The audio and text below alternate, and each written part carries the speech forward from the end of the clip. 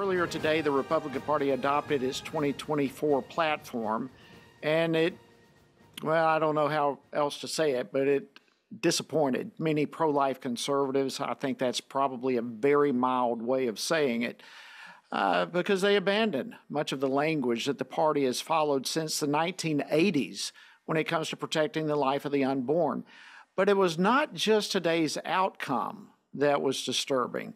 Also disturbing was the process itself, how it all went down. And joining me now to discuss this and where we go from here is Brent Keilen. He's the Vice President for Strategic Initiatives here at the Family Research Council and FRC Action. Brent, welcome back to Washington Watch. Always great to have you. Appreciate it, Jody. All right, so um, your reaction today to the platform that was adopted? Well, like you said, um, there's the product, but there's also the process. And you know what I saw about the process today, definitely um, some some concerning things there. You know, just to just to say it. Um, you know, I was there in uh, 2016 in Cleveland.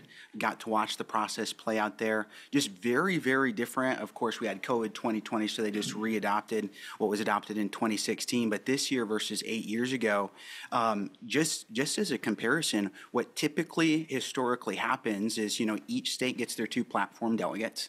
So you have that. Typically, the process plays out over two days Monday, Tuesday, and uh, Sunday night when they check in, when they get their credentials, all of that. They're given that, that platform to look at to see, uh, okay, how do I feel about this? Do I feel like it needs to be amended? Because no, you, you know, Jody, as a legislator, you need time to, to process something that you are right. voting on.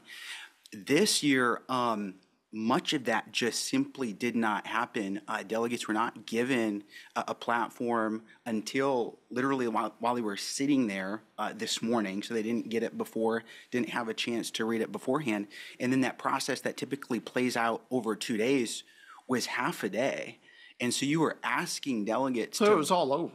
Yeah, yeah, yeah, and and no, typically there are five or six subcommittees, so they can really say, okay, let's let's analyze this let's have some discussion just to make sure there's nothing being left out, make sure we as a national party, you know, are really good with this. Uh, no subcommittees at all. There was no subcommittee.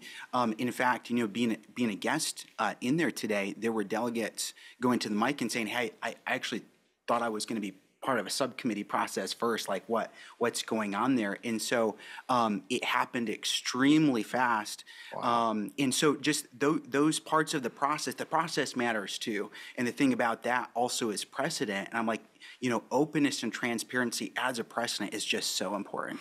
Yeah, you know, I think uh, I, I, know uh, while my time in Congress, one of the things that aggravated my constituents and I think Republican voters all across the country, as much as anything else, was when we would get a 1,500 piece of a page piece of legislation two or three hours before we're voting on it, where none of us had time to read of it. We didn't know what was in it.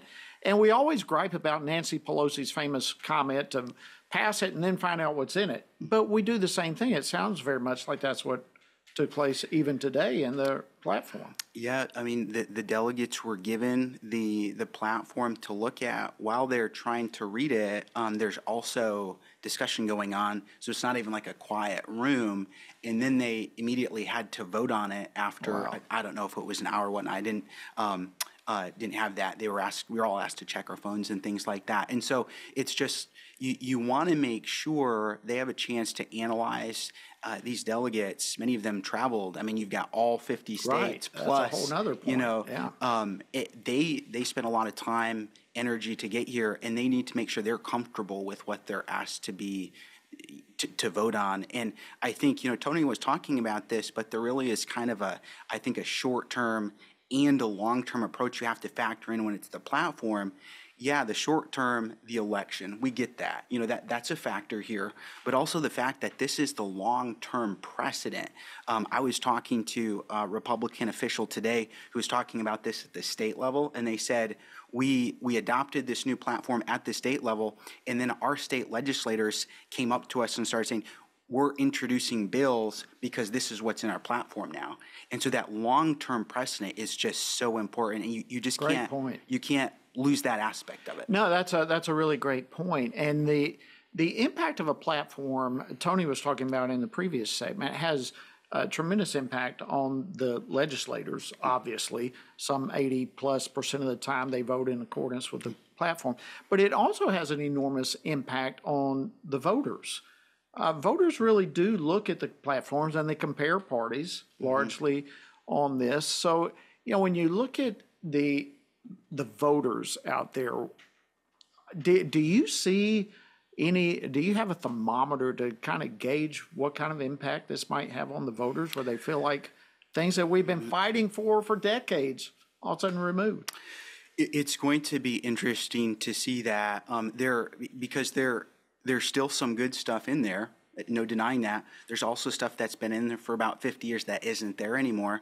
To me, the other piece of the equation is, you know, the Democrat Party will adopt theirs next month, and it will be really interesting to see what that contrast is there probably will be a stark contrast, but some of those issues, um, you know, polling done back in 2016, for example, 59% of Trump voters said that the party's strong positions on life and religious liberty had an impact on their vote. And so it really does make that difference. So it's just going to be interesting to see how people respond to that. Yeah, that. that's, uh, I couldn't remember the exact numbers, but I know that there's, there's polling that's been done that would indicate two thirds plus of Republicans say that these specific issues do have a major uh, impact Yes. on how they're going to vote. And now I, I join you in wondering what kind of impact is this going to have as we come into uh, November. And I guess it's all up, up for grabs to see uh, when, when it all gets there. Well, Brent, I want to thank you for uh, being here, for being a part of the platform discussion.